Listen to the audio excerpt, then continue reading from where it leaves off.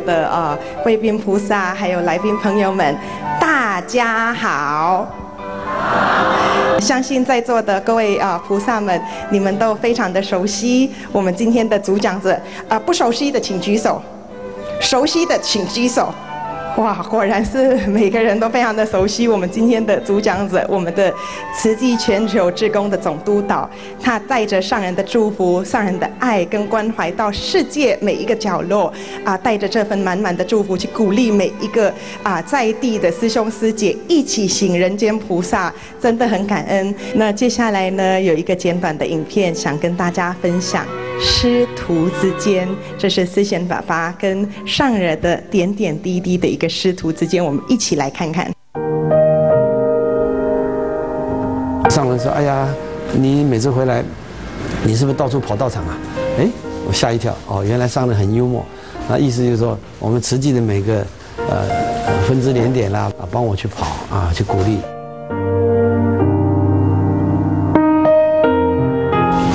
讲些什么？我说上文我都呃讲您的法，啊然后我就把上人最近讲的啊，比如说障碍什么人天道啊、恶法善法、啊、不动法等等，呃，那讲完以后，呃，上人点点头，哎，马上警惕又来了，不要有法慢哦，法慢就是说，哦，你很会讲哦，你傲慢心，不要有傲慢心，我马上跪下顶礼，这个就是上人他慈悲，他有智慧，而且他呢对于弟子。一定是要教的。我忽然在大爱电视台啊，看到上人的气色很好，红光满面。第二天我见到师父，我就说：“哎，上人，你有什么配博啊？那种港呼教后啊，能保持着这样子的啊这个精神啊，而且看起来呃比以前更年轻。你知道上人怎么回答？哦，很简单啊，把你们这些弟子放下就好了。哎，你知道吗？虽然是演幽默的、很轻松的，啊的一句话，我是很重的听在心里面。上人心目中，他从来没有放弃过任何一个弟子，他会暂时放下，但是时时他会等待。这个是我从他身上学到的。给上人说：“此土不净，此地不止，谁敢发这个愿？那他就是还要再回来啊。”说：“一日为师，终身为父，甚至。”生生世世跟着师傅，所以我相信做一个弟子呢，假如能够有这样子的缘呢，是我们大福报。为师，终身为父，这是思贤爸爸的一个心声跟写照，真的是点滴都感恩在心哦。那接下来呢，思贤师傅带了一个非常精彩的影片，就是他带着满满的一个祝福来跟大家拜年，就是我们美国总会的一个拜年影片，非常的精彩，我们一起来看看。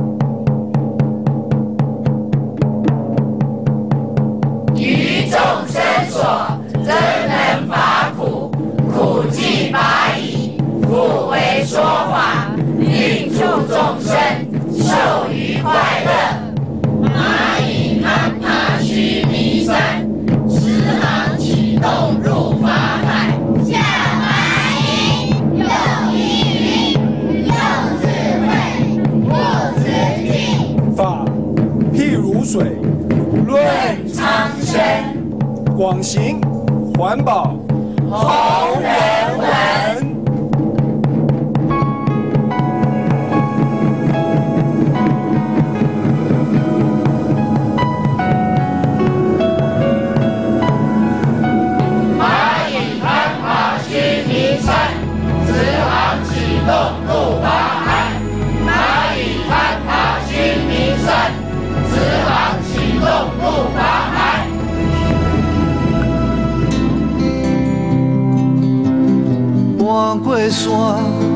过山，盘山过岭为安怎？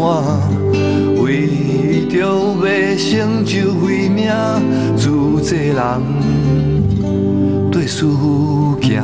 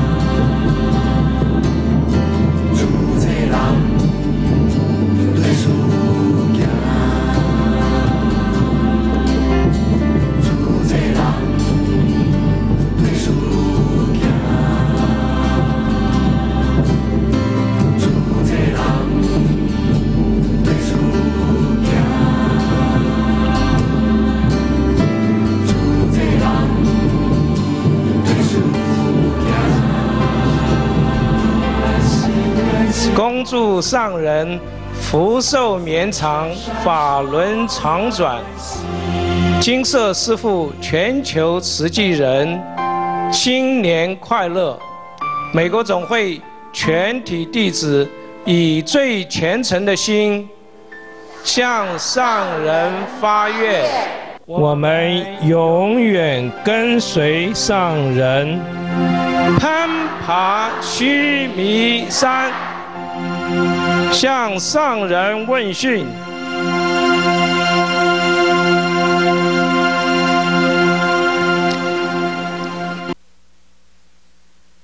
这个拜年的影片，看到这么遥远的美国，但是心一点都不遥远哦，真的是思贤师伯啊，为慈济奔波到各个地方，把爱的种子送到每一个国家、每一个地方。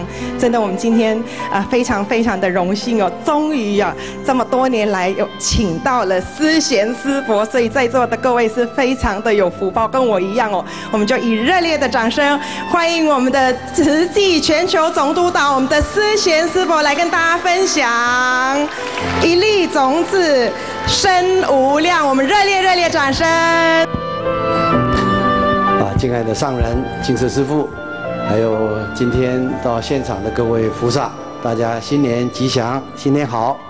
啊，昨天我问了一下了，这五六天里面啊，我们呢大大小小的桌办了三千多桌。那平均一桌大概十个人，你就知道 这五六天有三万多人去金色，家书为啊。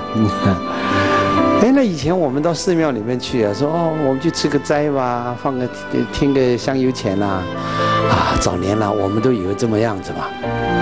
结果呢，后来就挨骂了啊。上人说哪有灯来吃为家崩还要给父母钱的？您知道吗？我是一九八九年，民国七十八年。四月三号早上，啊，去见上人。我四月一号，我奔丧啊，回到台湾，从洛杉矶，啊，我移民到美国了，已经将近四十年了，所以现在我的家人还在洛杉矶。那么我大哥往生回来奔丧，第三天我就到花莲见到师父。当然在这之前啊，我就是会员，啊，洛杉矶一位。蔡师姐呢介绍这一位法师让我认识，我其实那个时候不认识师傅，只看上人的一个陈慧建老居士啊所写的这个正言法师的慈济世界是黄色本子，早期啊，假如你们有的话，那我是凭着这个本子说，真的吗？这一位师傅这么伟大吗？哇，盖医院，做慈善，佛教有这样子的吧？以前佛教只要庙一盖。啊，大家都来捐钱了，因为我是很有啊这个这个因缘啦。你知道这个地方叫官渡对不对？我就是官渡人，那我们这个慈济道场的对山有一个很有名的啊庙宇是什么庙？你知道吧？哎，关渡宫妈祖经啊，我爸爸在那个地方啊就建设，而且做了好几十年的董事长。现在的董事长是谁？你知道吗？我三哥，所以我们兄弟各据一方。啊，妈祖经啊，那当然这是民间信仰了。啊，这个从早期从大陆呢，啊，唐山过台湾呐，啊，从这个信仰的就到台湾来。那那个时候呢，啊，我也常常跟着我呃妈妈呢到处呃呃这寺庙啊，啊去拜拜。小时候了，啊就吃个斋菜嘛，加米香啊，放个多少多少钱。所以我第一次去见上人呐，哎呀，现在想想其实也是很鲁莽啊，而且很不礼貌。我就带了我台湾的经理啊，带了三张支票。那我就跟这个经理说啊，假如这位师傅啊，我觉得，哎，就这样而已啊。这个添油箱我会自己加，你就不要动啊。三张就给我留着。假如我踢你一下，这一小张的拿出来，啊，踢两下就中张的拿出来，踢三下就一大张的贴出来。哦，见了上人以后，看到医院。那天啊，要拜别上人的时候，为了经历去考好，他敢给我们恶心，龙天才，龙天才。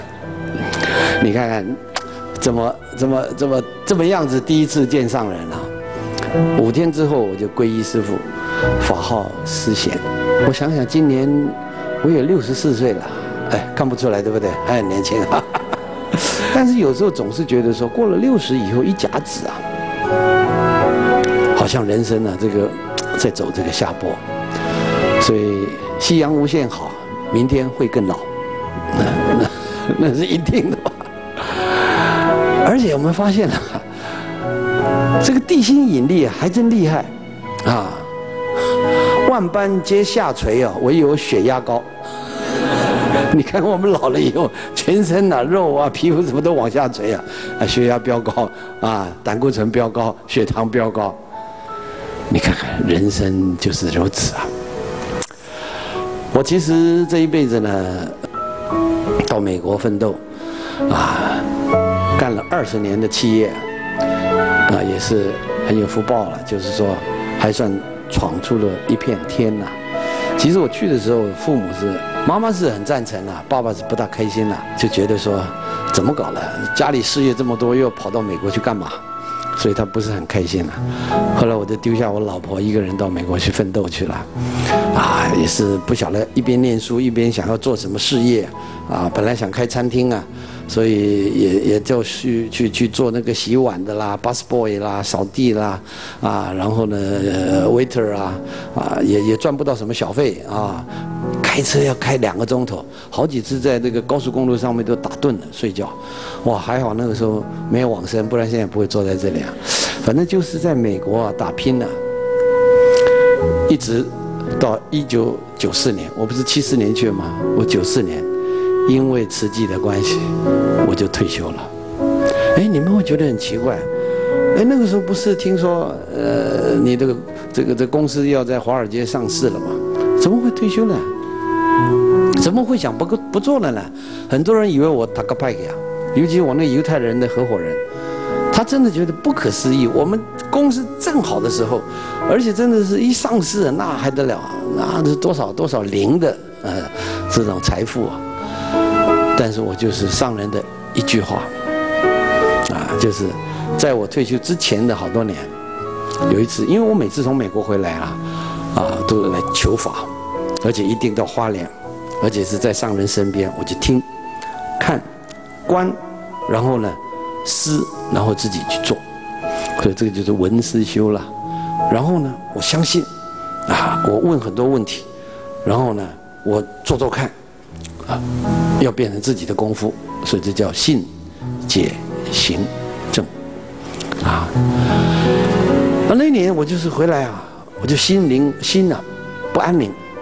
啊，在金色以前啦，旧的，外面不是有公用电话亭吗？一直进去、出去、进去、出去打电话。那上人就告诉我说：“你是你冲下来了。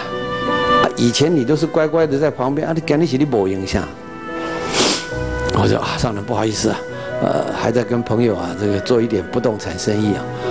嚯，你知影咱师傅我有地位，不动产生意，是不是你差地皮啊？哦，他怎么知道？我正好真的是跟朋友在炒那个桃园机场附近的地皮啊。炒地皮的意思就是说，买了以后再卖，对不对？然后标嘛要加价，所以就是来来回回加一百五百万加一千万，就这样就跟人家标。上来那个时候就有感而发了，啊，你吃素没有？我说吃素了。啊，一天五百块给你吃够不够啊？我一算，我们台湾吃素不是称重的吗？称重的对不对？八十块那三顿，你也是还够找你也六嘞。啊，我就跟上人说，有了，我搞啦，阿哥我同我找你也六一缸。好了，私人近视语来了。啊，你们普通看的是公开近视语，对不对？上人给我一句私人近视语，不搞啊，玻璃是你不赢上。够了，你还在忙什么？就这么一句话，颠掉，定到。够了，你还在忙什么？忙者心亡啊！意思就是什么？我们就迷了。就像早期，啊，佛陀弟子啊，很多问题。佛陀降世是为了要开示人生很多这个真理，让众生来了解我们是怎么来，我们应该怎么过日子，我们应该怎么走。那么佛陀的弟子就问佛陀了：“那个世间怎么来啊？”佛陀就说：“这世间呐，都是一念无名开始的。最近我们不是四句话吗？大时代，啊，要明大是非嘛。大无名要有大智慧。你看大无名，当然劫乱呐、动乱呐等等。所以弟子就问佛陀为什么？然后这个无名是什么时候来的？无始无明。”啊，所以什么时候开始？佛陀说无始。所以佛经啊，你说生也生，说不生也不生，你就把它画个圆就好了。一个圆起点在哪里？终点在哪里？我们人生有来有去。譬如说，师兄，你今天来了，啊，就像我说我今天来了，但是对我家师姐在美国说她去了，到底我是来还是去啊？同一件事情，你说我来了。他说我去了，这样懂了吗？所以同样的，你说他生了，你说他死了，所以为什么常常你说生者无生，死也无死，无生无死？哦，不刷刷的跳龙伯起的讲啥了？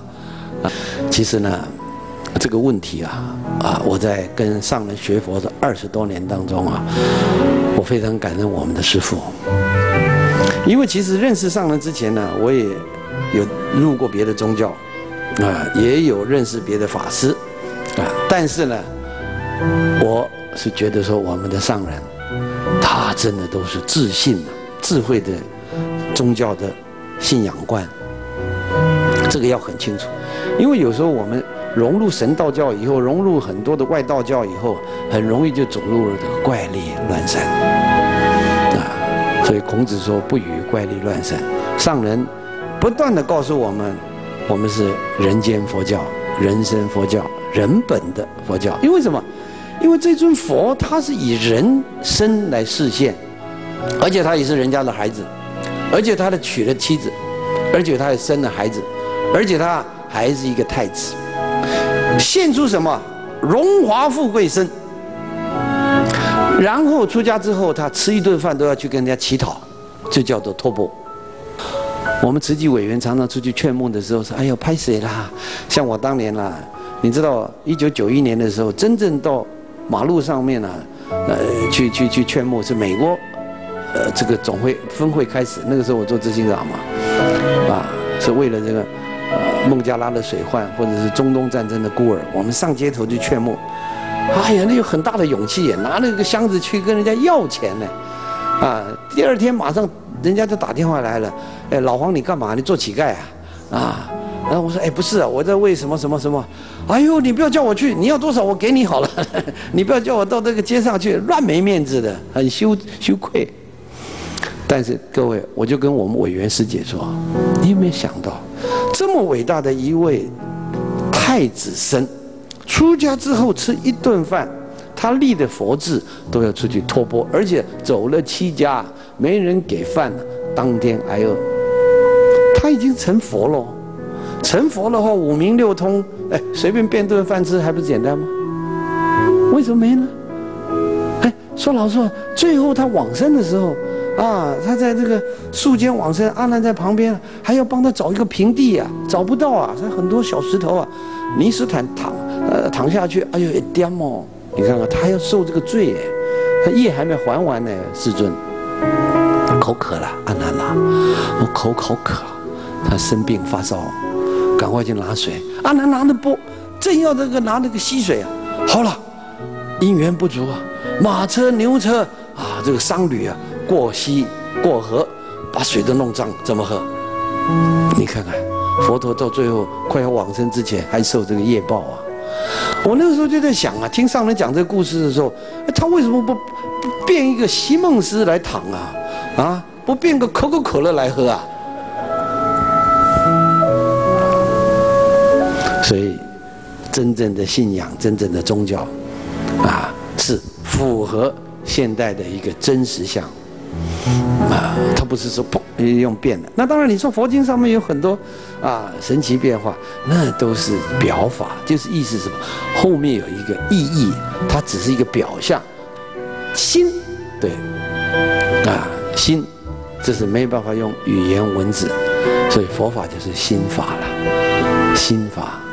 这最高义谛啊，是没有办法用语言文字来写出来。所以佛陀说他四十九年没说一个字，怎么可能？我们现在不是读了很多经文吗？三藏十二部经那浩瀚如海啊，啊，要懂要了解。但是他的意思是什么？只能意会，不能言传。